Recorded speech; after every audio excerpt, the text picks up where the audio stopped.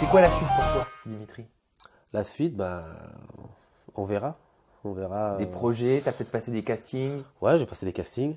Tu peux dire pour quelle émission? Non, je peux pas dire. Non, bah forcément. Ouais, j'ai passé des castings. Voilà. Si on n'essaye pas de me boycotter. Et oui, euh, déjà on essaie. Enfin, tu disais qu'on essayait de te boycotter en boîte de nuit. Voilà, il y a certains personnages euh, ont essayé de nous boycotter, moi et Mila. Mhm. Donc, on pourrait dire que ça blablate beaucoup en interview, ça blablate beaucoup sur les réseaux. Mais quand il faut avoir les gens en face, apparemment, bah, ça veut pas de nous. Donc alors attends, parce que c'est intéressant ce que tu dis. Donc ça veut dire que tu as passé des castings, ça tu viens de le dire à Ouais. l'instant. Tu ne peux pas révéler les émissions, je le conçois. Et je suis persuadé que tout le monde le comprend. À la maison, c'est normal. Mhm.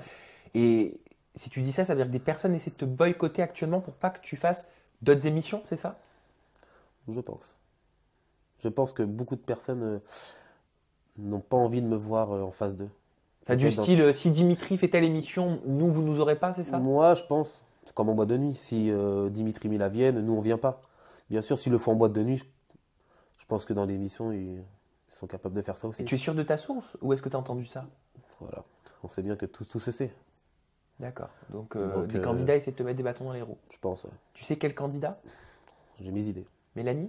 J'ai mes idées. Je- après, euh, je, je donne pas de nom parce que, voilà, je pense que j'ai mes idées. Après, euh, on verra que le meilleur gagne.